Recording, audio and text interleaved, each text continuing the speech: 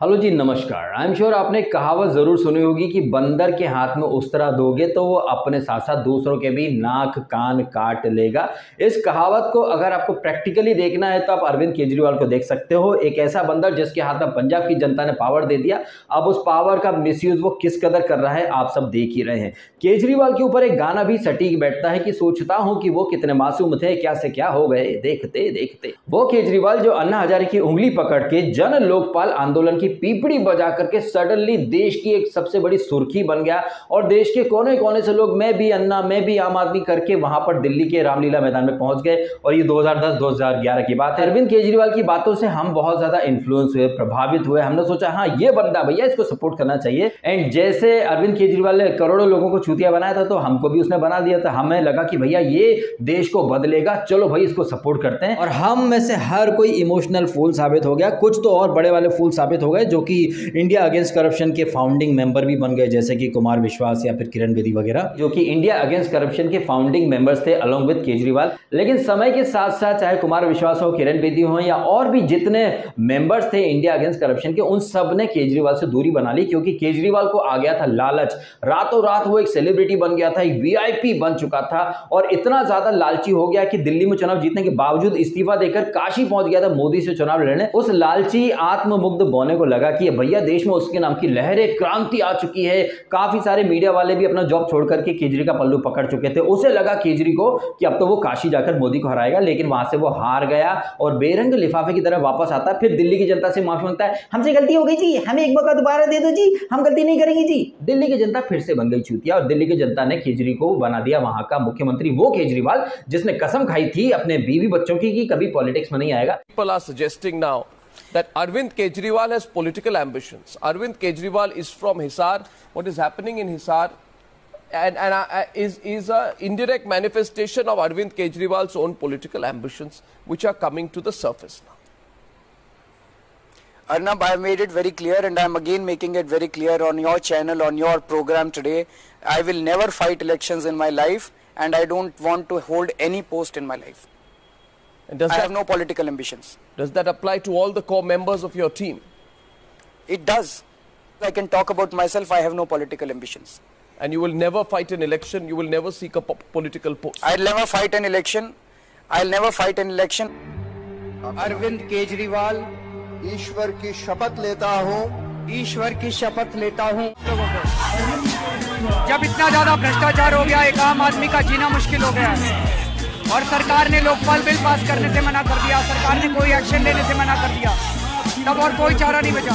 राजनीति में आने के सिवा। अभी तक हमारे देश की राजनीति, बीजेपी, कांग्रेस और कुछ चंद पार्टियों की धर्म, जात, भ्रष्टाचार, अपराध धनबल बाहुबल, इस राजनीति की गुलाम बन गई थी हमारे देश का जनतंत्र हो हमारे देश की राजनीति।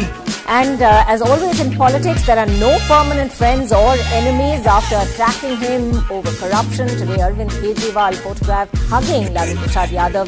मैं जब आज आया था बहुत बड़ी चिंता लेके आया था लेकिन आज इतना बार जनसमूह देख के और स्टेज पे बैठे हुए इतनी पार्टियों के बड़े बड़े नेताओं को देख के आज मैं सुकून के साथ वापस जा रहा हूँ हम किसी को सपोर्ट नहीं करेंगे बिकॉज़ जो लोग हमें वोट दे रहे हैं वो ईमानदारी के लिए वोट दे रहे हैं वो बीजेपी और कांग्रेस से ट्रस्ट होकर वोट दे रहे हैं। ये क्लियर है कि अरविंद केजरीवाल न बीजेपी के किसी चीफ मिनिस्टर को सपोर्ट करेंगे न कांग्रेस को करेंगे। Hundred percent. और बच्चों की कसम है ना बीजेपी से गठबंधन करेंगे ना कांग्रेस से गठबंधन। तो ये हमारी राजनीति है जी। हमारी कोई गठबंधन की राजनीति हमारी सीधी जनता की राजनीति है। भाई साहब हम कांग्रेस को मना मना के थक गए मना मना के थक गए। गठबंधन कर लो। गठबंधन कर लो। उनकी समझ में नहीं आ रहा। जितनी ऑफिशियल जानकारी मेरे को है कांग्रेस गठबंधन के लिए मना कर चुकी है। हो रहा है कांग्रेस आम आदमी पार्टी का गठबंधन? नहीं हो रहा। नहीं हो रहा। ऐसा उन लोगों ने बताया। थूका चाटा चाटा थूका। थूका चाटा चाटा थूका गधा बनाया बाप। गधा बनाया बाप। हमने लिया नहीं, फिर कैसे समझे आप? लेकिन वो पॉलिटिक्स में आया। उस समय वो लोग जो केजरी को सपोर्ट करते थे, उन्हें लगता था कि भैया कीचड़ में उतर कर ही कीचड़ साफ़ कर सकते हैं। गटर में उतरे बिना तो गटर को साफ़ नहीं किया जा सकता तो लोगों ने केजरी को सपोर्ट किया। लेकिन फिर जो केजरी ने यू टर्न पे यू टर्न मारने शुरू करे, वो केजरी, जिसके पास शीला दीक्षित के खिलाफ 300 पेजेस की फ़ाइल थी, वो केजरी, जिसके पास शरद पवार के खिलाफ खूब सारे सबूत थे, वो तो भूख हड़ताल पर भी बैठ गया था। लेकिन आगे चल के केजरी ने क्या किया? आप खुद देख लो। जी ने जो शरद पवार जी के खिलाफ सबूत दिए थे वो हम पंद्रह मंत्रियों में यूज़ कर चुके थे। हमारी वेबसाइट के ऊपर है। उसके ऊपर तो दस दिन तक मैं अनशन पे बैठा था। दस दिन तक खाना नहीं खाया था भाई शरद पवार जी के खिलाफ। एक्शन लो। उससे ज़्यादा और क्या करना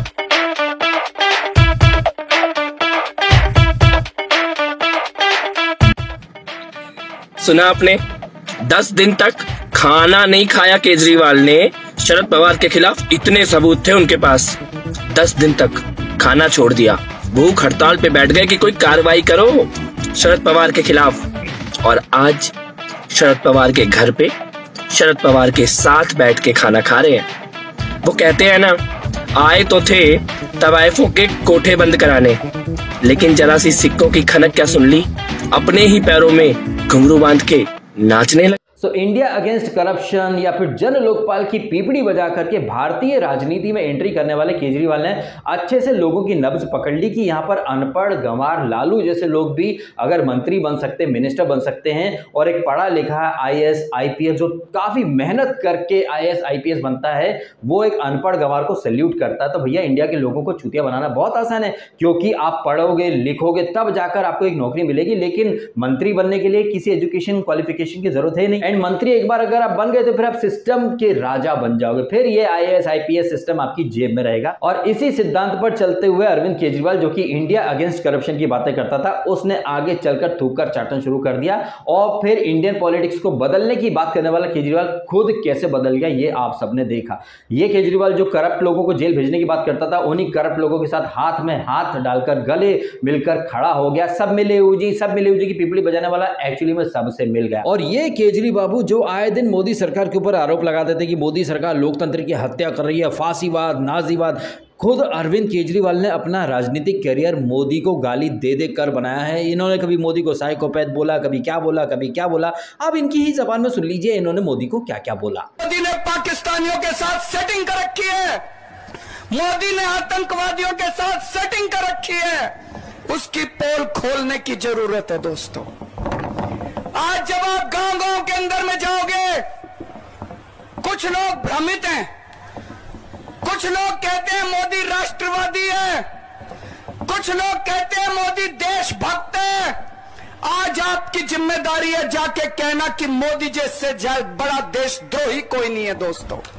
लेकिन मोदी जी ने केजरी को कोई भाव नहीं दिया। हालाँकि केजरी ने मोदी सरकार के कई मंत्रियों के खिलाफ बहुत आपत्तिजनक टिप्पणियाँ करी, लेकिन उन मंत्रियों ने जब केजरी को कोर्ट में घसीटा, मानहानि का केस किया तो केजरी ने, माफ़ कर दो जी, माफ़ कर दो जी, जबान फिसल गई थी, माफ़ कर दो जी। तो ये जो ट्रेड्स है ना पर्सनैलिटी के, केजरी के, ये साबित करते कि ये कितना दोगला इंसान है थूक थूक करके चाटता रहता है। मोदी को इसने इतनी गालियाँ दी और मोदी जी को सिर्फ़ केजरी ने नहीं, बल्कि कांग्रेस के कई नेताओं ने पता नहीं क्या क्या बोला, नीच, कमीना, मौत का सौदागर पर मोदी जी की माँ, उनकी बीवी सबको ट्रैक कर लिया। खैर, हम यहाँ केजरी की बात कर रहे हैं तो वो केजरी जो देश के प्रधानमंत्री को अपशब्द बोल सकता है, गालियाँ दे सकता है, अभद्र भाषा का प्रयोग कर सकता है, लेकिन खुद अपने लिए ये केजरी बाबू कुछ नहीं सुन सकते। ये केजरीवाल जिसने कोई कभी कसर नहीं छोड़ी मोदी जी को जलील करने या फिर मोदी जी के खिलाफ अभद्र भाषा का प्रयोग करने में, लेकिन वो केजरीवाल खुद के खिलाफ एक शब्द नहीं सुन सकता। अभी केजरीवाल ने एक कॉन्ट्रोवर्सी कर दी थी, वो कश्मीर फाइल्स फ़िल्म के ऊपर इसने मज़ाक बनाया था, इसे यूट्यूब पर डाल दो, बीजेपी झूठी पिक्चर भी झूठी। उसके ऊपर बीजेपी दिल्ली के नेता तेजिंदर बग्गा ने एक ट्वीट करा। अब भैया, उस ट्वीट में जो भाषा थी, वो तो केजरी को नागवार गुजरी। मतलब केजरी दूसरों को साइकोपैथ कावर्ड पता नहीं क्या क्या बोल सकता है, लेकिन खुद अपने खिलाफ एक शब्द नहीं सुन सकता। तो वो केजरी जिसने पंजाब के लोगों को बड़े बड़े सपने दिखाए कि चुनाव जीतने के बाद ये करेंगे, वो करेंगे, ये करेंगे, वो करेंगे, लेकिन चुनाव जीतने के बाद कर क्या रहा है? एक पुलिस की टीम लगा दी कुमार विश्वास के पीछे, एक पुलिस की टीम लगा दी तेजेंद्र बग्गा के पीछे एंड बाकी बची पंजाब पुलिस की जितनी भी टीमें हैं, जितने भी लोग हैं, जितने भी अफसर हैं, उन सबको लगा दी कि ट्विटर या सोशल मीडिया पर ढूंढो, कौन है जो केजरी के खिलाफ अपशब्दों का प्रयोग करा उसे पकड़ के लाओ, चाहे वो इंडिया के किसी भी कोने में हो। तो कहना गलत नहीं होगा, इस तरह की तानाशाही और तुगलक की हरकतें करके कहीं ना कहीं साउथ कोरिया का वो किम जोंग और जर्मनी का जो था तानाशाह हिटलर उसको टक्कर देने के लिए इंडिया में आ चुका है अरविंद केजरीवाल उर्फ़ अरविंद हिटलर वाल और जिस तरह से पंजाब की सत्ता मिलते ही बौखला चुके हैं अरविंद केजरीवाल जी, साबित हो रहा है कि हमारे देश के अंदर एक मीडिया का जो सेक्शन है, वो खाम खाम में बेचारे मोदी को यूँ ही बदनाम करे जा रहा था कि मोदी फांसीवाद, ये वो संगी है, नाजीवाद, फांसीवाद सोच, लोकतंत्र खतरे में है, जबकि ये सारी चीज़ें तो केजरीवाल कर रहा है। पंजाब में पावर क्या मिली भैया? ये तो सत्ता पाते ही सत्ता मद में बौखला चुके हैं। सत्ता पाते ही सत्ता मद में बौखला गए हैं अरविंद केजरीवाल जी और पंजाब की जो डेवलपमेंट या पंजाब की सुरक्षा चूँकि पाकिस्तान से बॉर्डर टच होता है, पंजाब का तो काफ़ी सेंसिटिव एरिया है। एंड आज ही न्यूज़ आई कि पंजाब पुलिस का कोई इंटेलिजेंस विंग है, उसके डोर उसके गेट के ऊपर ही एक ब्लास्ट हुआ है। हालाँकि कोई जानमाल का ज़्यादा नुकसान नहीं हुआ, लेकिन रॉकेट लॉन्चर से ये हमला हुआ है तो मतलब ऐसे रॉकेट लॉन्चर्स आर्मी के पास होते हैं या फिर आईएसआई के थ्रू लोगों को, आतंकवादियों को मिलते हैं। अब ऐसा रॉकेट लॉन्चर पंजाब में कहाँ से आया? ये तफ्तीश करना पंजाब पुलिस का काम होना चाहिए, लेकिन पंजाब पुलिस घूम रही है बग्गा को अरेस्ट करने या फिर कुमार विश्वास या फिर अलका लांबा। यानी कि केजरीवाल के खिलाफ कोई कुछ ट्वीट कर दे तो उस इंसान के पीछे पड़ जाएगी पंजाब पुलिस। क्या पता भैया, मेरा वीडियो देखकर मेरे खिलाफ ही पंजाब पुलिस एक मोर्चा खोल। ले हालाँकि मेरी इतनी कोई रीच है नहीं तो मैं कहीं ना कहीं बच जाऊँगा, मुझे ऐसा लग रहा है। बाकी कोई भरोसा नहीं। बाकी कोई भरोसा नहीं है भैया, जिस तरह से पंजाब पुलिस एकदम बौखला चुकी है, केजरीवाल के खिलाफ ट्वीट करने वाले या वीडियो बनाने वालों को ढूंढ ढूंढ के पकड़ रही है।